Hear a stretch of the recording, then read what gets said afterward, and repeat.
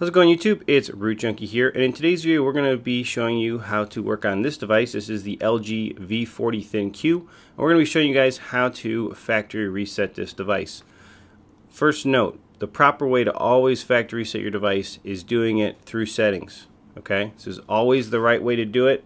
Um, if you can't do your factory reset this way, um, here in resettings and then um, wipe data factory reset right there you can't do it this way, then I'm going to show you the emergency method, and it's with you using um, LG's version of recovery. Okay, so to do this, we're going to go ahead and power off the device.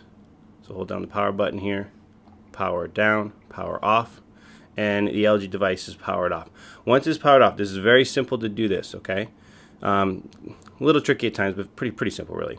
So you're going to hold your volume down button. So we're going to hold that guy first, and then we're going to hold power and we're going to keep holding power until we see the logo then we're going to release and then we're going to hold it again. And you just stay there and voila. So this is the factory data reset screen. So you use your volume up and down to scroll. So we're going to highlight yes and then we're going to go ahead and hit the power button to select that and then it just verifies are you sure you want to do this? This is going to delete all of your personal settings applications all your information off this device. It'll be back to uh, new you'll have to go through the setup wizard again to set up the device.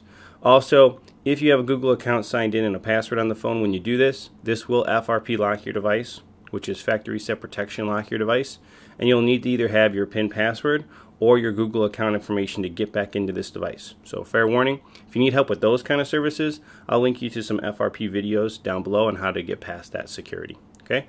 Alright, so we're going to go ahead and hit yes and go ahead and hit it with the button there. Sometimes it like lags here for some reason. There we go. Alright, so you can see right here it is erasing the phone and this LG V40 ThinQ will boot back up and will be at the welcome screen. So that is the method. Generally, this method of um, factory resetting is what I'm going to use when my device won't boot up. Okay, so there's a problem with the device, it won't boot up. Um, it's just stuck in some kind of loop. Something's not working right. Um, this is the way I would factory reset then. Okay, otherwise, again, like I said, always do it from settings. That is the safe method. So we're going to let this guy boot up here, and uh, we'll take a look at it here in a sec.